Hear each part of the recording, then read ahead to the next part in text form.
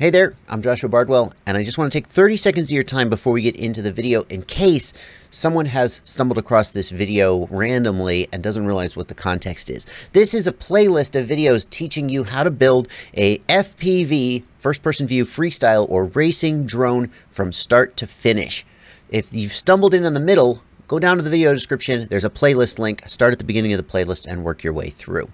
If you are working your way through this video, I want to remind you that there is a Discord server, a Discord chat server uh, for QuadCamp Online. There's a channel over there where we provide support uh, for the people who are working through this project. If you have any questions, you can ask them down in the YouTube comments, absolutely. But if you need a little bit more real time help, you maybe will get better luck over in the Discord server. Link in the video description.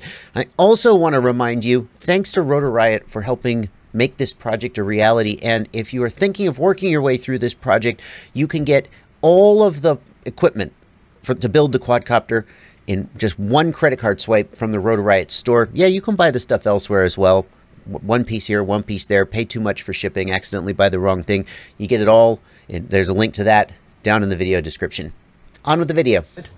Uh, I think the next thing I want to do is install these standoffs. Now, we got these standoffs with the frame, and we got a bunch of these screws that came with it, and they're all going to go together. So we'll go ahead and open up those screws.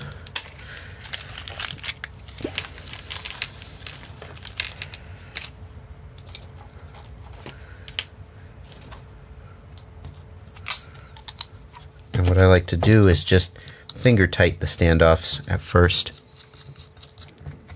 And then I'll come back after the build is done and I'll I'll tighten them the rest of the way. As you're installing the standoff, be really careful not to accidentally pinch your motor wires as you screw the standoff down. Just make sure the motor wires are out of the way. You can pinch it and you can cut the insulation and then when you go to fly it, something's going to light on fire. So don't do that. I'll just make sure these are out of the way as I screw it down. So now we've got one, two, three, four, five, six, seven, eight standoffs installed. And we can go ahead and install the camera as well. I think it might be a good idea to just do a check that we haven't made any mistakes with our soldering before we go any further. And what I'm going to do is I'm going to get my multimeter out I am going to put it into continuity test mode and I'm just going to check the two prongs of the XT60 to make sure that there is no short. Again, like if I screwed up the soldering on the red and the black wires for the camera and the VTX, I might have accidentally bridge those things together and then bad things would happen when I plug the battery in. As I said previously, when we checked the motors, you'll hear a very short beep because of the capacitors on the ESC, but you should not hear any beeping that's a good thing. We're going to install the camera now, and there's two different ways you could choose to do it. Uh, on the right here are the 3D printed camera brackets that came with the CL1 frame. And if you've ordered your parts from anywhere except the Rotor Riot store, these are going to be the ones that you use. If you ordered the kit from the Rotor Riot store, then you also received these 3D printed brackets, which, well, I'll show you the difference. The brackets that come with the CL1 frame are going to install like this.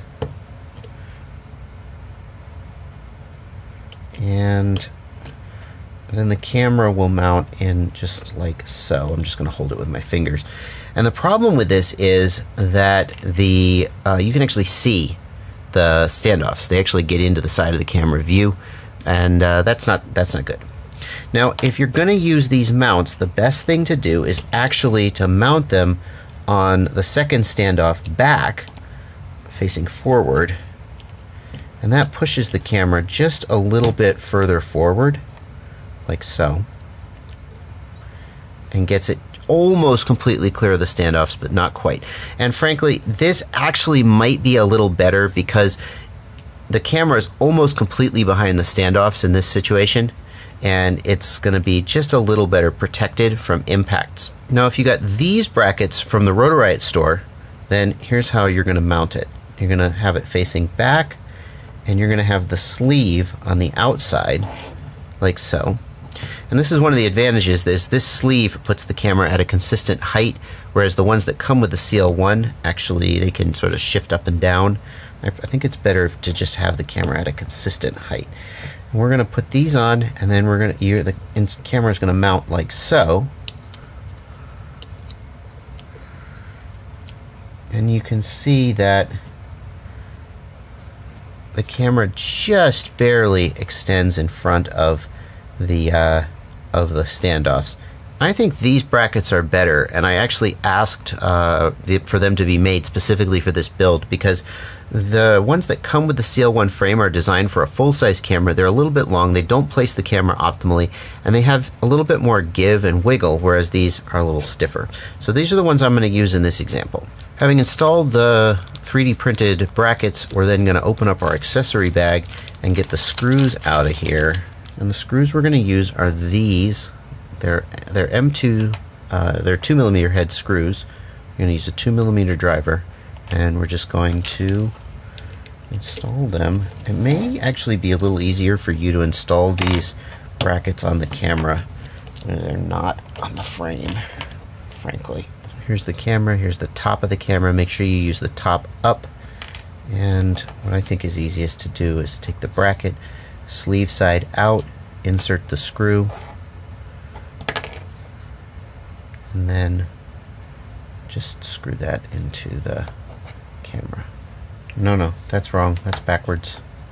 I've done this backwards. Can you see if I were to install this as I'm showing you, the camera would be pushed forward. We want the camera pushed backward. There we go. That's how you want it.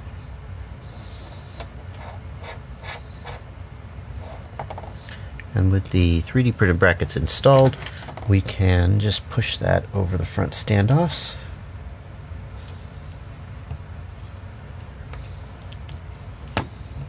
Push on the bracket, don't push on the camera. It's not that strong. And there we go. That's how that's going to mount. And at that point, we can plug in our camera. And I'll just twist that up a little bit to take the slack out. And the camera can get plugged in.